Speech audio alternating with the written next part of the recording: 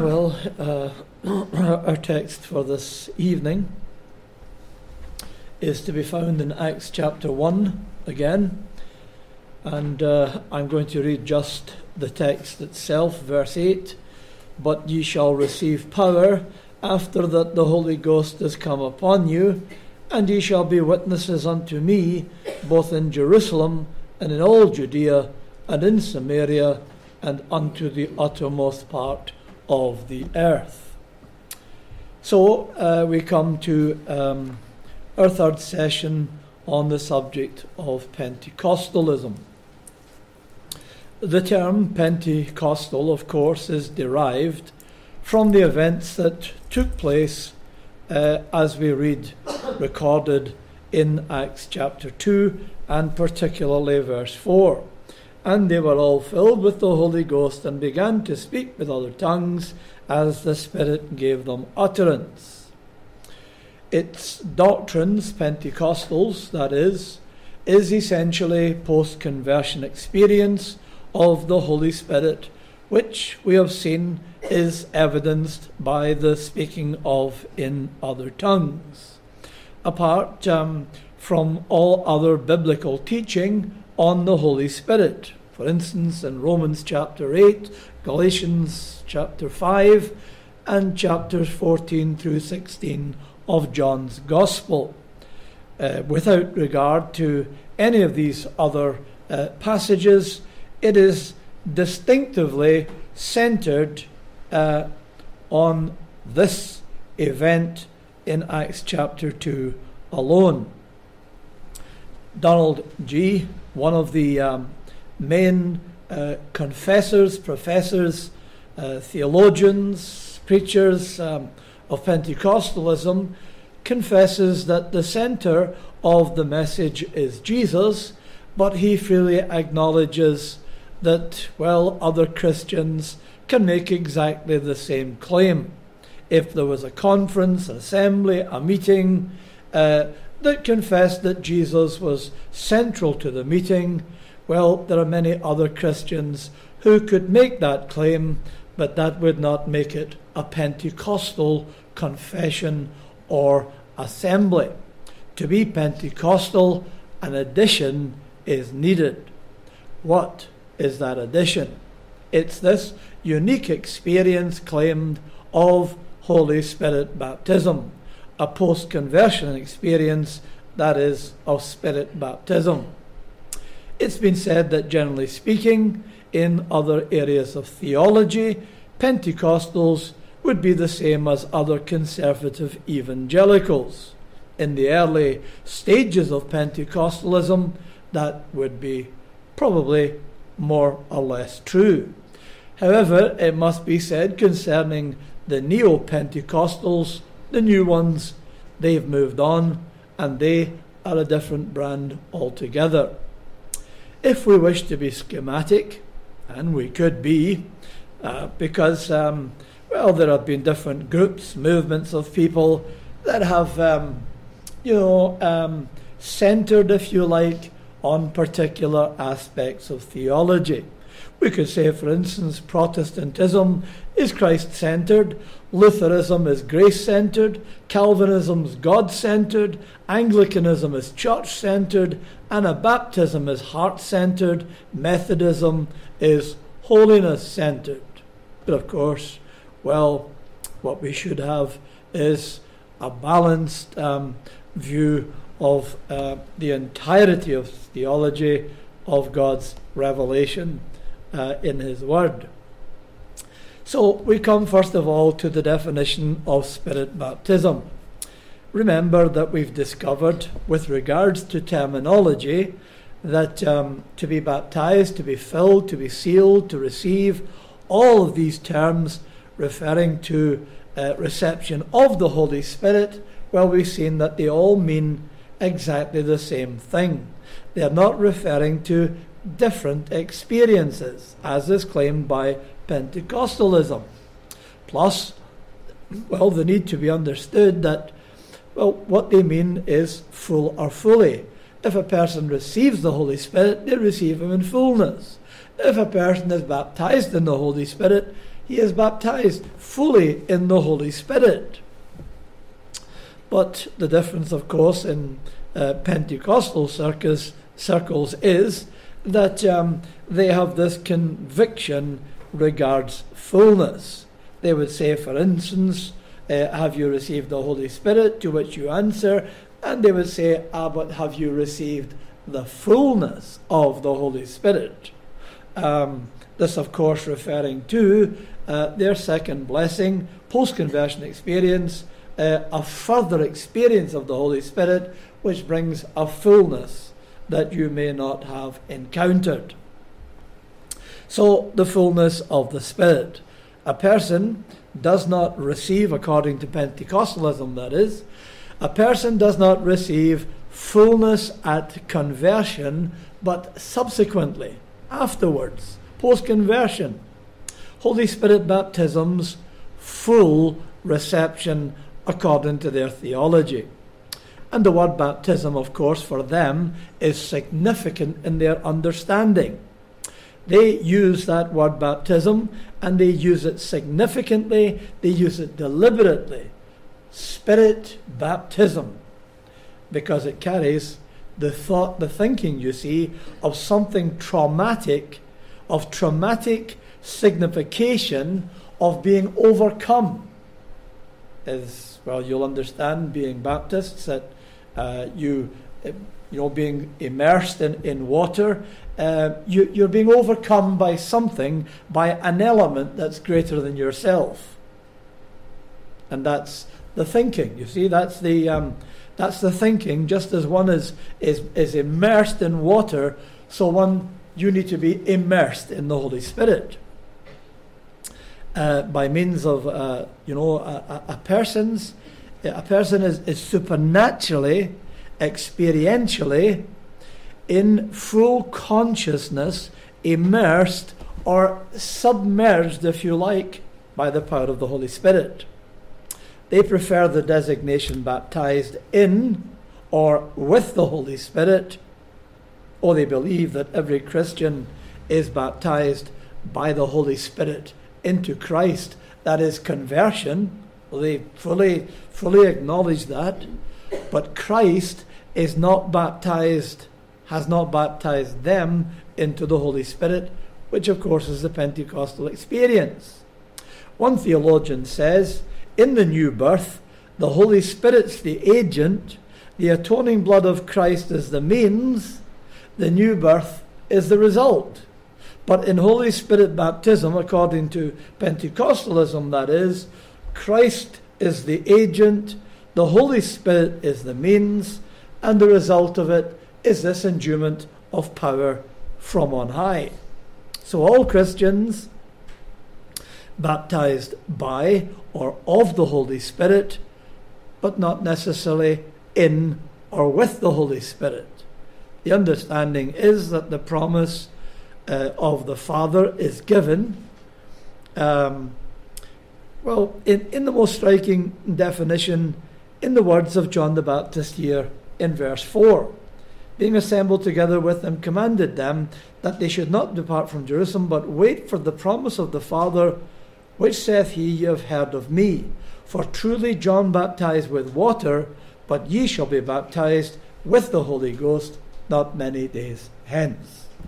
They, of course, are assuming, they do, of course, assume um, uh, a baptism by immersion. It's dramatic, it's critical. That's the point, you see. It's, um, of course, it's, it's, it's nothing less than the fullness of the promise. Anything less than experiential, um, less experiential than baptism in water, fails to do justice to the promise um, of Holy Spirit baptism, the promise of the Father.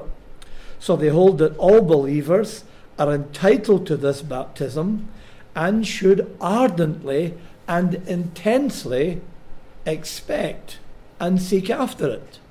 They ought to earnestly seek the promise of Holy Spirit baptism. They hold this to be the normal experience of the early church, and with it, along with it, comes an endowment of power for life and service. The bestowal of the gifts of the Holy Spirit for their uses in the work of ministry. This experience is distinct, it is subsequent to new birth, that is, to conversion. And it is evidenced how? By the initial physical sign of speaking in other tongues, as at Acts chapter 2 and verse 4. So the main characteristics are one, a distinct uh, post conversion experience, two, evidence by tongues, three, it must be earnestly, even intensely taught and sought after. Well, we'll deal with, with the, with, with, uh, the first of these. Firstly, the doctrine of subsequent spirit baptism. Most admit that the doctrine's tied completely to Acts, the Acts of the Apostles. There alone, they say, they claim that we have the impressive historical demonstration of Holy Spirit baptism. They pay no heed to any other part of Scripture, of any other part of, of the revelation of God concerning this.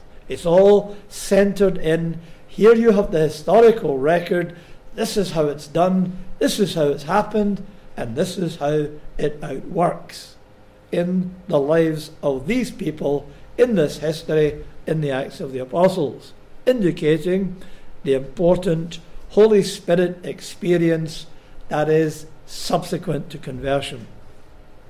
It all rests upon their exegesis, their interpretation of the Holy Spirit and His working, His actions in the Acts of the Apostles. But do remember that, well, we've seen some of them, the, the second blessing harbingers, that is, the forerunners.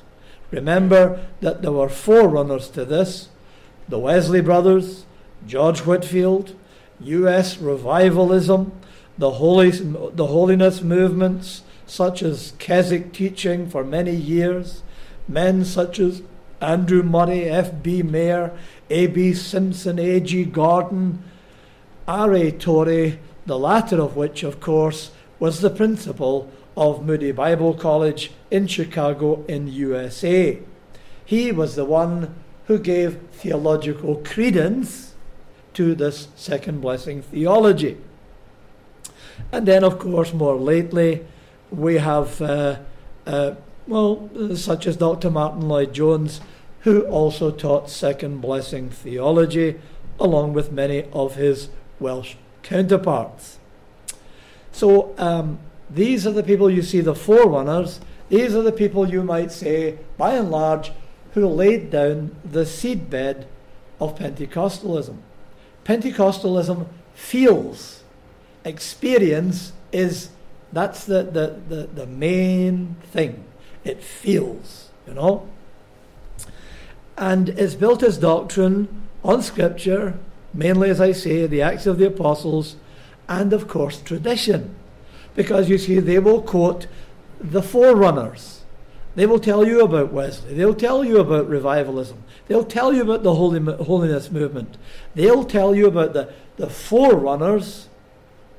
And, uh, and of course, well, they'll, they'll go back even further than that. They'll go back to the apostles. They'll point to the Acts of the apostles and they'll say, look, this is how it was with the apostles, this is how it was with us, and this is how it should be with you.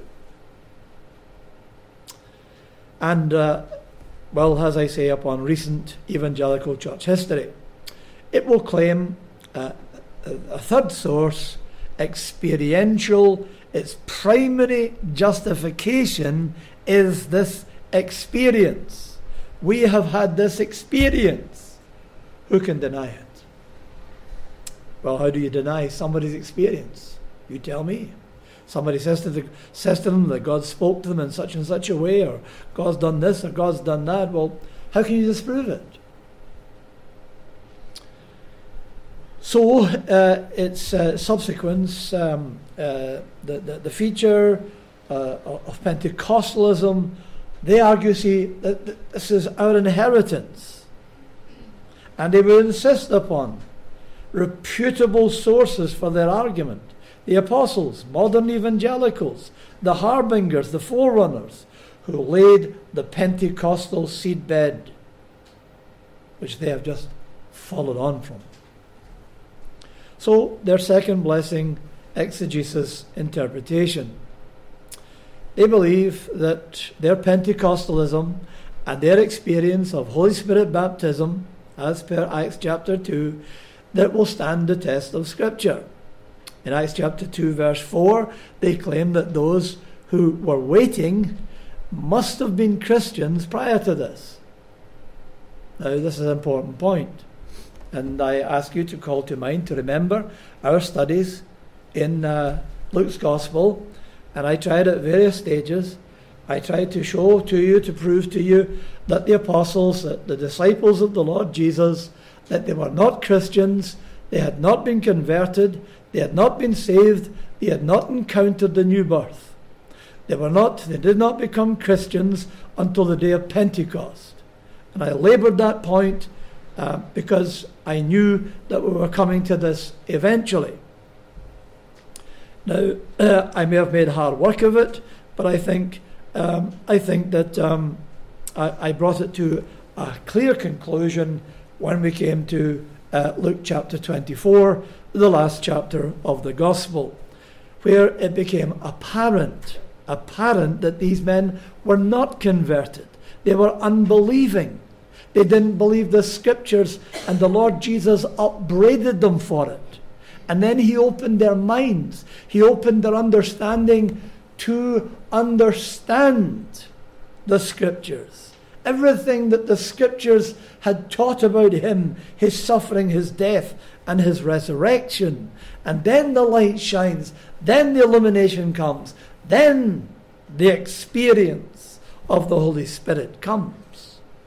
And of course, I also, I also um, showed you how that there was an overlap with the end of the Gospel 24 and into the Acts of the Apostles there is an overlap in the teaching. So, um, the Pentecostal claim is, you see, that, um, that these early disciples, that the apostles, that these 120 in the upper room who are waiting for the Holy Spirit to come, they must have been Christians prior to that. They cannot prove that. They claim, they say, that the apostles had first, had a first, had a partial initiation prior to this. And they would quote John 20, verse 22 Receive ye the Holy Ghost, the Lord Jesus says to them. Well, John 20, you see, is the end of the gospel, like as in Luke 24. It's that overlap.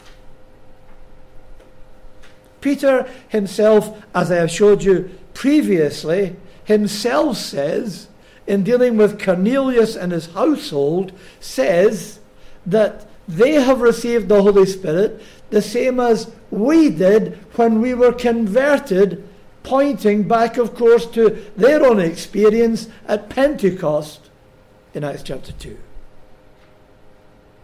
So, must have been Christians prior to this is a no no.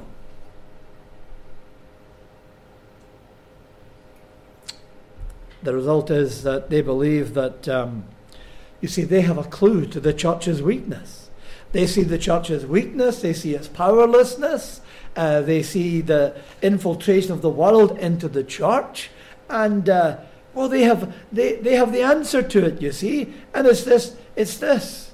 The church hasn't been taught to wait, to tarry in the way that these the apostles, um, these early disciples um, were taught. And so, what the church needs to do, it needs to have waiting meetings where you wait for the Holy Spirit. You pray intensely and you, oh, you do all kinds of things. We'll come to them in a minute.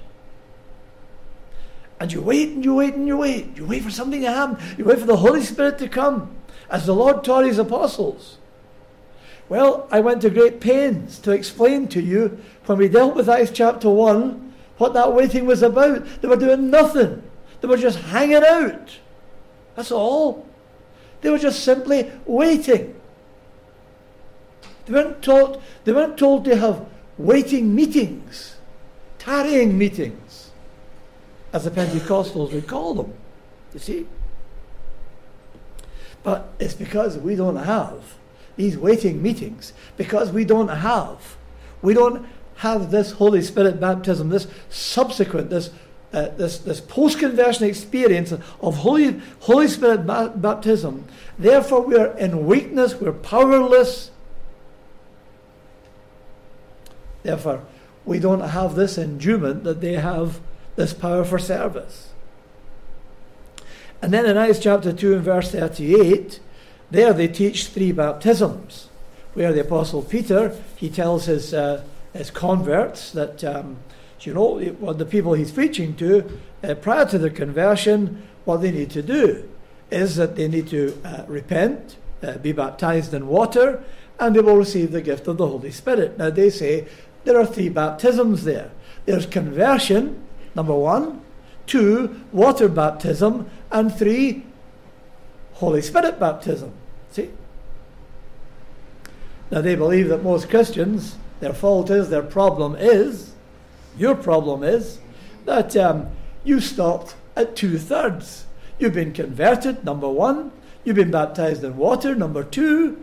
Ah, but you haven't gone on to the fullness to number three.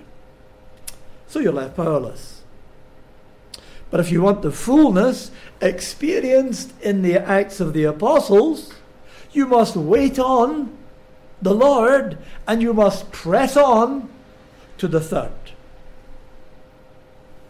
They find the same halfway Christians in Samaria in Acts chapter 8 and verses 4 through 25. They've been converted, they've been forgiven, uh, but they have not been baptized in the Holy Spirit, verses 14 through 17.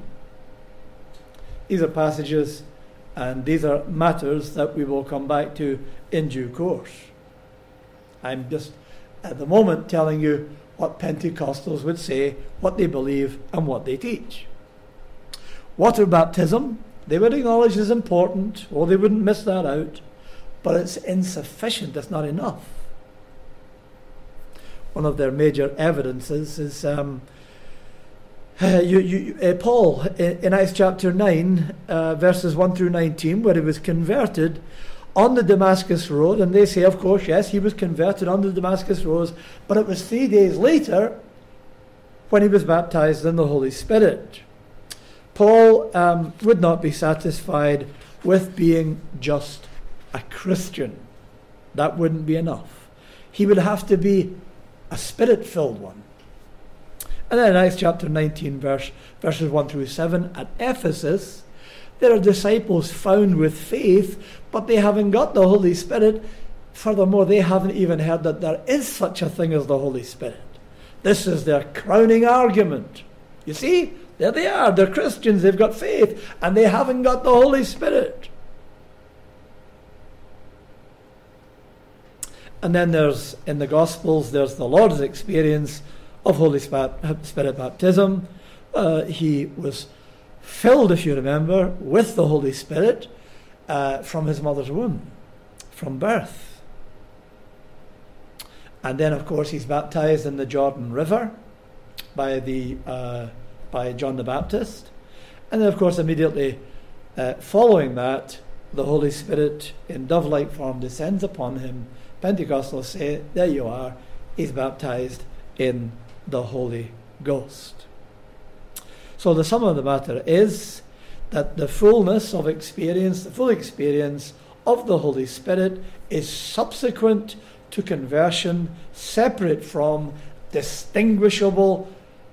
Um, you are very, very conscious of it. Then, uh, lastly, we come to the second blessing benefits. What are the benefits? of this Holy Spirit baptism? Well, firstly, there's permanent indwelling of the Holy Spirit.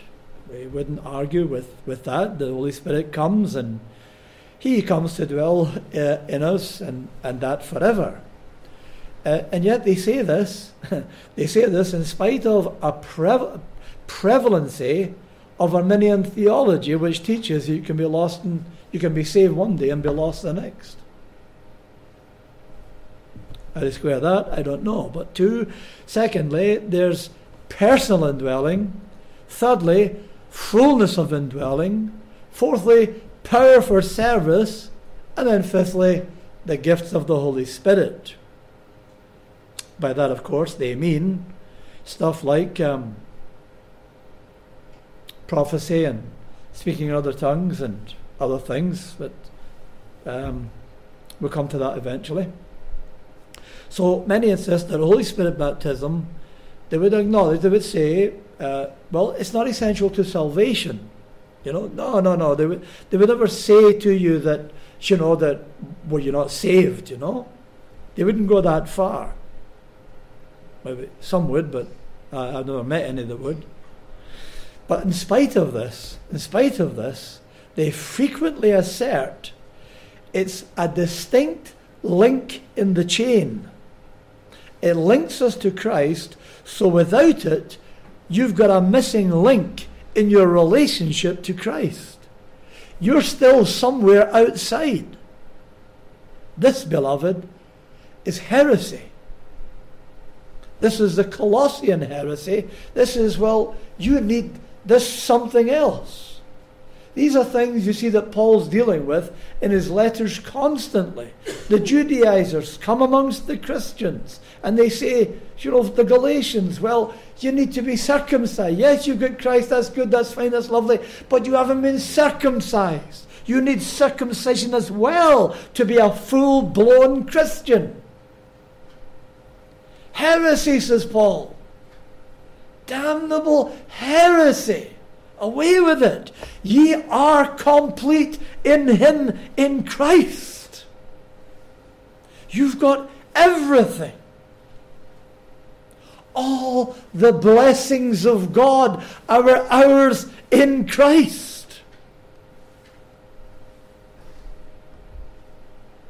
So, regards the gifts of the Holy Spirit, the Holy Spirit affords them, Pentecostals that is, uh, affords them gifts uh, for ministering the charismata, hence the term charismatic. Charis is the word grace, grace gifts. Paul deals with them in 1 Corinthians chapters 12, 13, and 14. The charismata. These spiritual gifts, tongues, prophecy, faith, miracles, healings, and such like, are the most prized amongst Pentecostals, and they quite naturally fit fit into the shape of the Pentecostal gift of the Holy Spirit.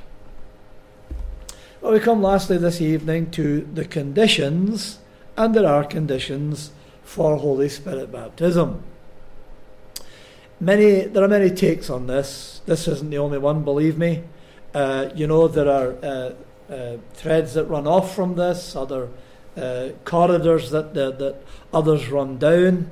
Uh, they, they come, Pentecostals come in many different shapes and sizes. You'll find that the older variety are the more sound. In the early days of Pentecostalism, um, it was, it was uh, uh, apart from the experience thing, it was, it was fairly uh, biblical. The theology was, was fairly sound. But it took a turn, I think, maybe somewhere in the, in the 20th century 1960s uh, and onwards, and then of course the arrival of the neo Pentecostals, and of course it's just well, uh, my understanding of that they've just left the Bible behind. But you'll you'll generally find that the older the older Pentecostals, if you can find one, uh, find them, you'll find that they are more sound in their theology. So, as I say, there are many takes on this. Um, we could, if we wished, we could narrow it, narrow it down to three pre and subsequent conditions one conversion, two obedience, and three faith. But there are wide variety, there's a wide variety of steps leading to Holy Spirit baptism and its benefits. Conversion is number one. It's impossible for an unconverted person to receive the Holy Spirit. Now, what may surprise us is not just, uh, it, it, this is not just said, but that, that you could, that anyone, any, well, any Christian anyway, that, that they, they could um, conceive, that they could possibly think uh, of the possibility of a person being converted and not having the Holy Spirit. You can't be converted. It's the Holy Spirit who works conversion in us. He comes and He breathes life, the life of God into our souls, and He brings us to the place and the point of conversion. You see, we have to understand as well the order of salvation. We don't believe in order to be chosen, we are chosen in order to believe. Now it begins eternity past, the choosing, the election of God. Chosen by God in eternity, and in time, God comes to us in His time, His good pleasure. Person might be a child in a crib, person might be a teenager, they might be in their 80s, their 90s, they might be at death's door. He comes as and when He sovereignly pleases and chooses. He breathes life by His Spirit into the soul. Nothing takes place prior to that. Nothing. So, life from the dead. We expect a corpse to react, to, to respond, to do anything. So, life comes first.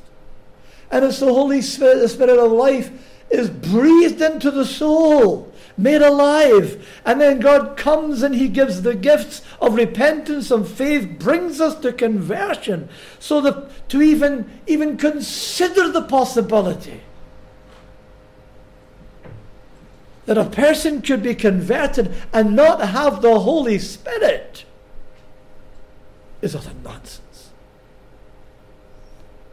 But this is the first Pentecostal imperative conversion then Holy Spirit baptism. Obedience is the second one. Active obedience, that is, both negative and positive, separation from sin. All sin must be removed in order to receive the Holy Spirit. Well, I'm pretty glad that that's not true because if that was the case, then I would never have received the Holy Spirit. And neither would you because none of us are completely, utterly separated from sin.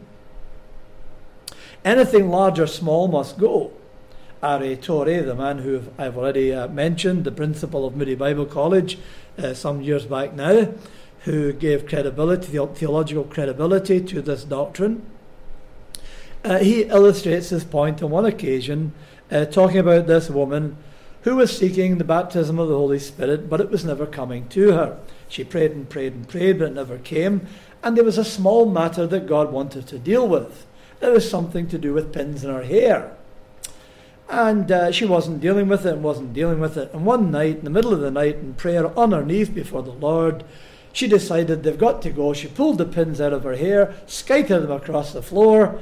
Her hair fell down, and the Holy Spirit came too at the same time. She was baptized in the Holy Spirit. The disobedience was gotten rid of. See? And then, of course, there's the inner, inner obedience, humility of heart, submission to God in the heart. So, obedience is number two. Thirdly, heart purity. By faith, they quote Acts chapter 15, verse 8 and 9, uh, where uh, Paul, speaking to the Ephesians, uh, speaks about um, our hearts being purified by faith. This, of course, is laid hold upon and taken. Um, this is the holy, the holiness movement revisited. Instant, entire sanctification. The indwelling of the Spirit, Holy Spirit, Holy Spirit baptism, requires a heart that's free of sin. He will not dwell with that which is unholy. Now, we are all for holiness.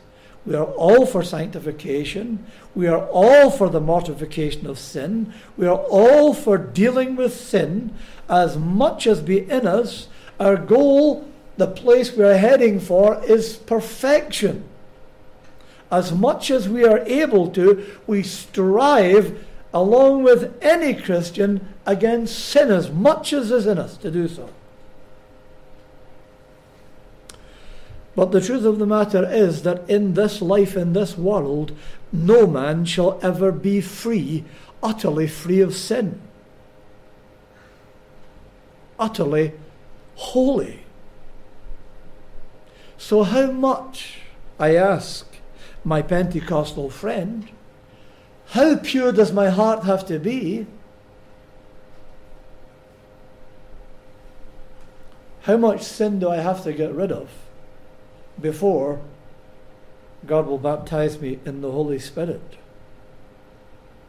And then prayer is the, uh, the fourth one, and this is the most frequent condition seeking with an intensive, and I mean intensive, very intensive, persevering prayer. The gift of the Spirit, of the Holy Spirit, is not received without prayer. Now, I freely acknowledge we're to pray for the Holy Spirit. We're to ask God for His Holy Spirit, more of His influence, more of His power, on the preaching of His Word, and for conversions, and, and for enablement, wisdom in our own service, our own warfare, our own battle against sin. Yes, we, we, we freely acknowledge we need the Holy Spirit, and we're to ask and we're to pray for the Holy Spirit, but this is something else. This is with an intensity, a persevering prayer which of course in there, again itself isn't necessarily wrong. But not just prayer, a certain kind of prayer. If the Holy Spirit baptism doesn't follow, then they will say to you, there's something defective with your praying. You're not praying enough. You're not praying hard enough. You're not praying long enough. Um, or maybe your faith defect. You're not believing enough. Well, how much do you have to believe? So there's a person with a weak faith because we're not all given the same measure of faith. Some one person has a stronger faith than another. So does the person with weak faith uh, is he or she left out of it?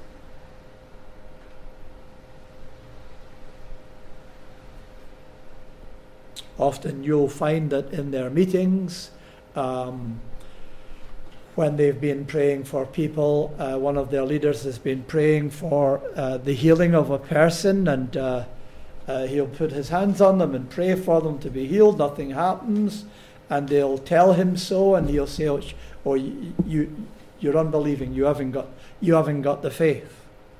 Couldn't be them.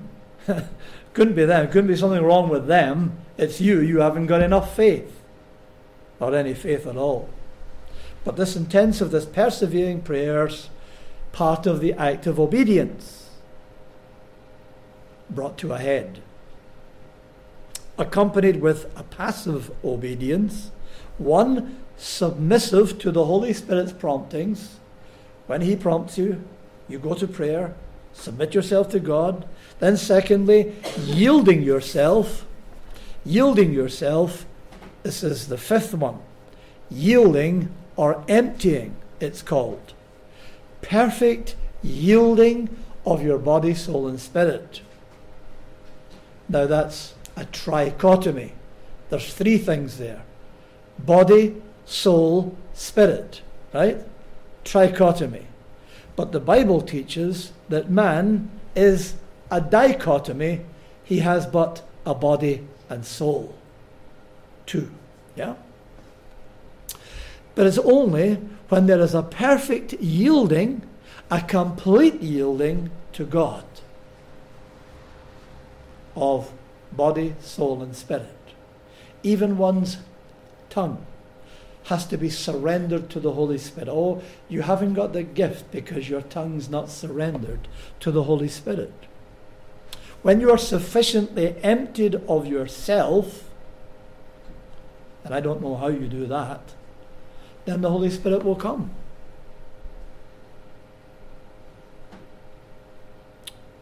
And all this is in the context of tarrying or waiting for the Holy Spirit to come. Now, it's all very interesting. It's a, an error, it's an error in theology. Um, And of course, um, uh, it's only one because there are many others. It's only one. But we're dealing with it because it's a very prevalent one today, and many, many people go chasing after it, and many people are very sadly deluded by it. Now, there are extremities, uh, but we have to acknowledge and we have to be sensible and we have to be loving and kind. Um, we have to seek to um, to bring people out of this as much as we possibly can and help them to understand the errors of it. And of course, um, uh, we haven't got to be proud, uh, arrogant, or hard, um, because there's well, there's a danger in our own circles of that very thing, and that will not do. And I would remind you too that amongst Pentecostals, there are some very serious and some very sincere, godly people who would put some of us in reform circles to shame with regards to their holiness, their godliness, their walk with the Lord, their zeal for the Lord and for His mission. So keep this, beloved, please keep this in balance. Yeah? It's very, very important. Paul says um, in, in uh, dealing with, with these very matters, in, in 1 Corinthians 13, um, he says, I, he says you can speak with the tongues of men and of angels, but if you haven't got love, if you haven't got love, he says you're just a, a gonging piece of brass a tinkling cymbal. That's all you are. He says you can have the gift of prophecy and you can understand all mysteries, all knowledge. You can be absolutely sound, rock solid, sound in doctrine. But if you haven't got love, you are nothing, he says. You can even give all your goods to the poor you can even give your body to the fire to be burned. You can even become a martyr. But if you don't do it in love, it doesn't mean anything at all. You are nothing.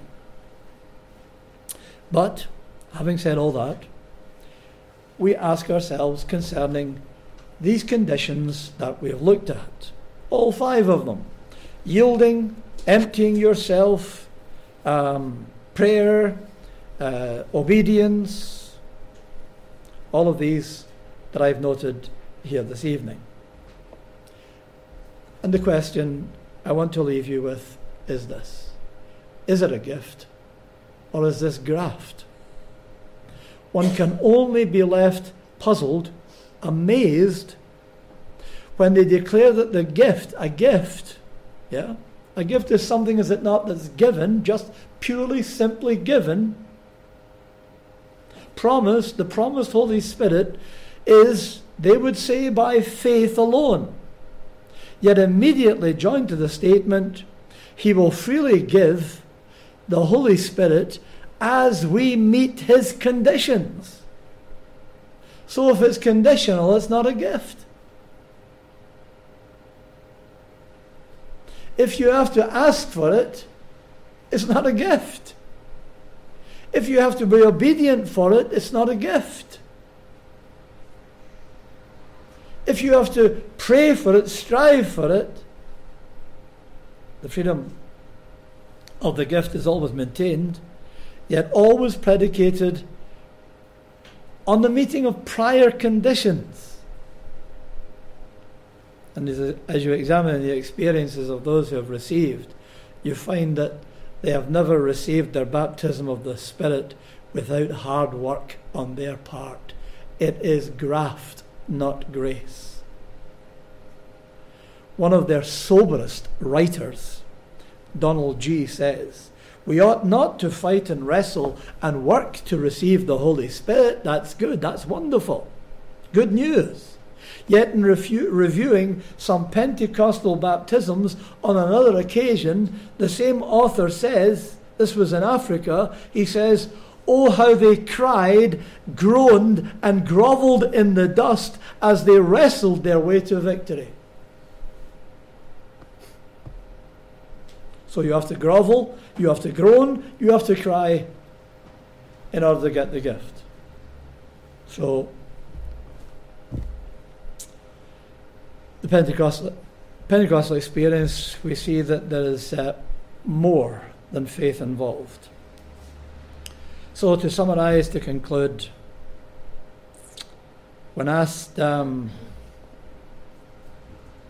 when asked um, if um, if we've appropriated these or the other benefits um, outside of, in addition to simple faith, which apprehends Christ, or the simple grace by which Christ apprehends us. That sounds much better to me. Uh, through obedience, however exemplary, of faith, however entire, then the Protestant is compelled not just to analyze Pentecostalism, but to criticize it as well. And as we do, remember it is criticism, not just of the Pentecostals today, but their forerunners, some of our darlings. And we have their hymns. Many of them, we have their hymns in our book. Wesley's. They were the forerunners, they were the ones who sowed the seed of this stuff. We do well to remember that if you had the Wesley Brothers hymns as they were first written in this book, you would throw it in the dustbin. They're not fit to sing. The theology is rubbish. Wesley, the Wesley Brothers hymns that we sing have been altered, have been doctored. The theology's been corrected. Hmm? So, remember, Pentecostalism has inherited all this stuff from these forerunners. They have just simply carried to full consequence the legacy of Wesley Whitefield and many others, perhaps even some of the Puritans. Next week, we'll turn to um, uh, what they refer to as the gifts of the Holy Spirit, which is another outworking of um, their experience. Amen.